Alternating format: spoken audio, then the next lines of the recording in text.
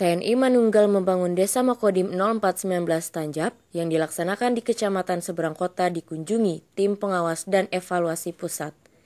Kunjungan ini bertujuan meninjau perkembangan pelaksanaan TMMD 98 di desa terpencil dan terisolir yang sudah berjalan sejak awal April lalu.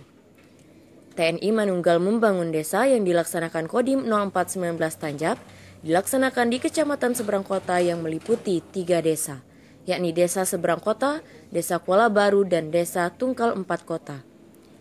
Dalam kunjungan ini, tim Wasef meninjau pembuatan jalan yang membelah hamparan Nipah yang sudah mencapai 5.140 meter dimulai dari Pelabuhan Roro hingga melintasi tiga desa.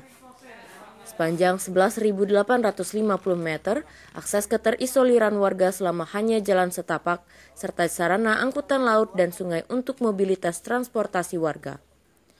Di lokasi kunjungan tim juga menyaksikan kegiatan para prajurit yang sedang bekerja di lapangan, di antaranya kegiatan perehapan musola, penimbunan halaman musola dengan alat sederhana.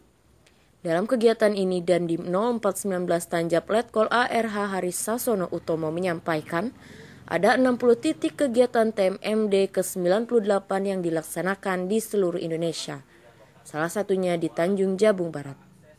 Dalam peninjauan ini, Tim melihat sejauh mana kondisi pelaksanaan dilaksanakan, kendala di lapangan, serta tanggapan masyarakat atas pelaksanaan kegiatan TMMD. Uh, siang hari ini saya dari Mabes Angkatan Darat yang tergabung dalam tim pengawasan dan evaluasi pelaksanaan TNI Manunggal Membangun Desa yang ada di wilayah Tanjung Jabung Barat ini. Jadi kita di seluruh Indonesia itu ada sekitar 30 tim yang kita turunkan untuk melihat bagaimana uh, perkembangan pelaksanaan kegiatan yang dilaksanakan oleh satuan-satuan tugas yaitu Kodim yang ada di lapangan di seluruh Indonesia.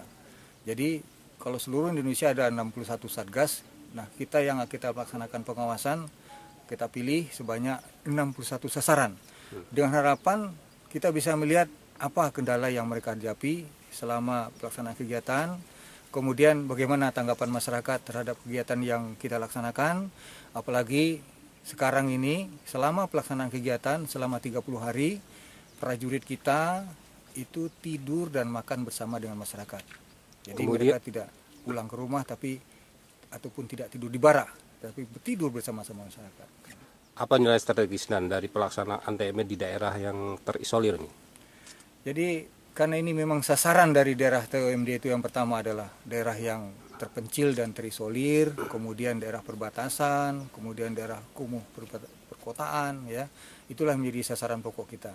Nah sasaran strategis kita yang jelas yang pertama kita adalah untuk meningkatkan kesejahteraan masyarakat kita yang di sini, yang jauh dari mana-mana, ya yang terisolir. Diharapkan dengan kita membangun jalan daerah yang kita laksanakan saat ini, ini bisa membuka keterisolian mereka ini, sehingga bisa meningkatkan taraf hidup masyarakat kita. Kemudian juga kami TNI dan beserta aparat pemerintah ini adalah sarana bagi kami untuk menyentuh masyarakat kami secara langsung dalam rangka untuk meningkatkan kemanunggalan kita dengan rakyat dan juga meningkatkan persatuan dan kesatuan kita.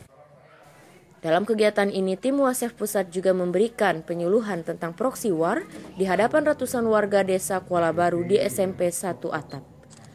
Usai memberikan penyuluhan, tim juga meninjau perehapan parkir dermaga desa Kuala Baru, Kecamatan Seberang Kota, Kabupaten Tanjung Jabung Barat. Dari Tanjung Jabung Barat, Jumalis melaporkan.